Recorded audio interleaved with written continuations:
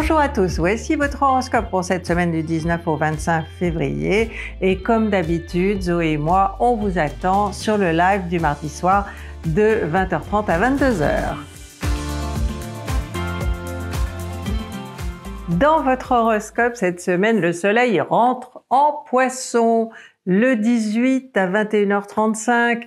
Euh, le poisson, c'est le dernier signe, le 12e. Il est censé euh, avoir toute la sagesse euh, du monde puisque euh, l'expérience des onze autres signes a été faite. Donc vous, les poissons, par exemple, hein, souvent vous êtes des personnes qui ont l'intuition de, de, tout ce qui se passe de mystérieux et qu'on que les autres signes ne voient pas, ne comprennent pas ou ne voyez, euh, non pas euh, l'intuition que vous avez vous. Euh, c'est un signe, bon, pour les autres signes, qui est, bon, très, comment dire, dans la sensation, dans l'impression. On, ne sait pas très bien comment les prendre, les poissons. Hein. Ils nous échappent, ils ont un côté très fuyant, mais surtout, bon, ce qu'il faut savoir, c'est qu'ils fuient le conflit avant tout pas mettre euh, un poisson devant un, conflit ou devant un choix à faire. C'est très difficile pour lui. Donc euh, vous, pendant cette période poisson, bah, peut-être que vous serez un petit peu plus poisson que d'habitude, c'est-à-dire que bon, vous aurez du mal peut-être à faire des choix, ou alors que vous les repousserez, ou que vous vous oublierez certaines choses, parce que le mode de défense des poissons, c'est souvent l'oubli. Hein, il préfère oublier les choses qui le dérangent. Donc euh, attention, vous aussi, à pas euh, oublier un rendez-vous, euh, oublier votre téléphone quelque part. bon, il y a quand même des petits défauts. Hein, le poisson, il n'y a pas que, que des qualités.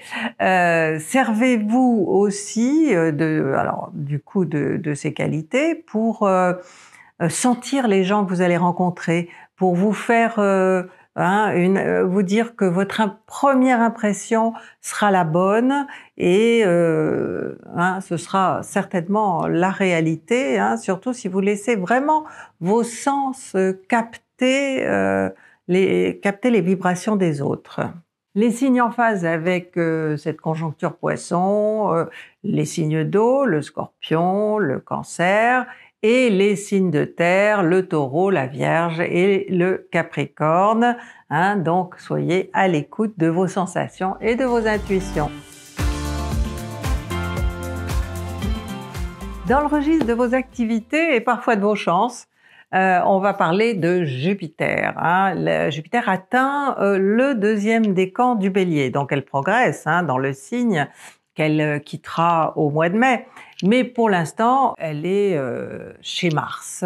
Et si vous voulez, si vous êtes sensible hein, à la présence de Jupiter en bélier, eh bien, vous allez être extrêmement entreprenant. C'est le moment hein, euh, de, de, de, mettre quelque chose en route ou de prendre une décision importante qui pourrait avoir des répercussions dans votre avenir euh, c'est aussi, euh, comment dire, le moment de défendre euh, vos idées, de défendre euh, votre position. Si jamais vous sentez qu'elle est menacée, que quelqu'un veut votre place ou que vous avez un adversaire quelconque, ça peut même être sportif hein, dans certains cas.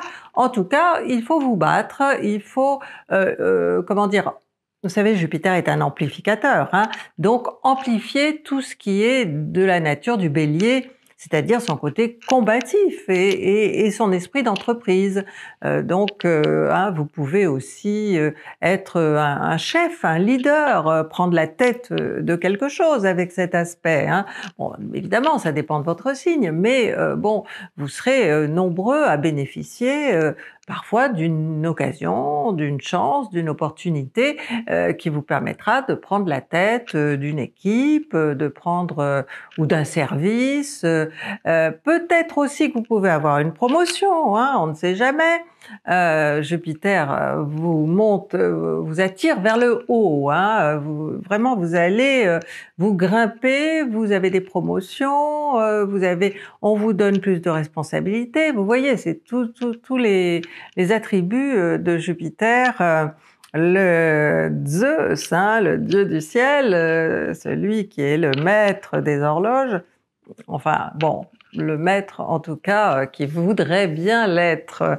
Euh, en conséquence, c'est une très bonne euh, position de Jupiter pour ceux qui ont hein, envie de faire bouger leur vie et je suis sûre qu'il y en a plein parmi vous qui en ont besoin en tout cas.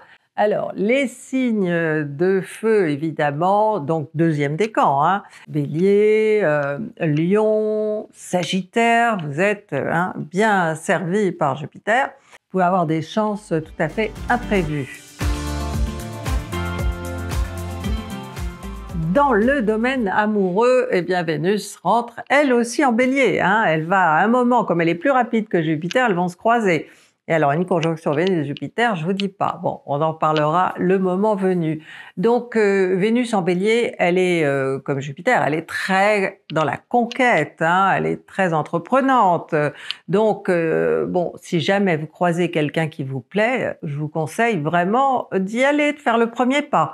Il faut toujours devancer, hein, avec une, une, Vénus en bélier, il faut y aller. Il faut pas attendre qu'on vienne vers vous, que qu'il se passe quelque chose euh, hein, euh, en regardant euh, autour de vous. non, il faut être dans l'action, c'est-à-dire bon, envoyer des petits messages, faire de l'œil, vous pomponner si vous êtes une femme, bon, montrer hein, avec des signaux vraiment très explicites que vous êtes intéressé. Hein. Alors maintenant, si vous êtes en couple avec une Vénus en bélier, euh, la conquête, euh, peut-être qu'il faut reconquérir votre chéri, hein, parce que bah, vous avez laissé passer un petit peu de temps. Hein, quand Vénus était en poisson, en général, on on fait pas trop d'efforts hein, quand Vénus est, en poisson. Mais euh, là, avec cette Vénus bélier, il va falloir être un petit peu plus comment dire, euh, actif euh, ou active pour votre couple.